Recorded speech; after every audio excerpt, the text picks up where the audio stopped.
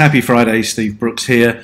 Um, this video is actually um, coming to you as a result of one of the better known recruitment platforms, having worked with them for uh, probably two years now, um, placing um, advertisements. Common sense finally prevailed, and that's what I want to talk to you about common sense.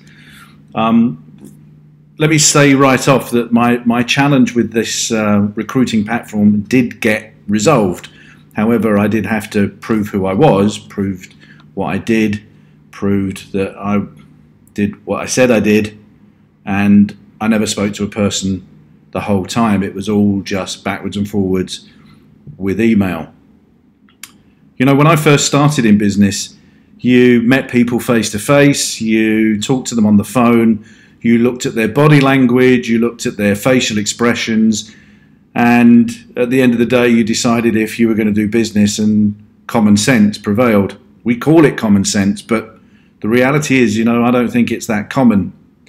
In a day where algorithms and bots and chatbots take over our lives, it's rare that we actually get to have proper conversations with people.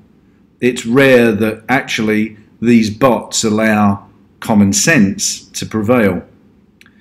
So, the question I want to ask you is, you know, how do you face the challenges in your business? How do you how do you make the decisions in your business? How do you how does your business function? Yeah, do you do you actually use common sense uh, rather than doing a process four or five times? Have you found a common sense approach to getting the same result? When I work with my coaching clients, what I'm looking for are the best solutions to get them to where they want to be. And actually, sometimes taking a very plain and simple approach is the best in the end. It's the old KISS, an acronym. Keep it simple, stupid. So, common sense. Is it in your business? Is it in your business in abundance? Or is it just not there. Have a think.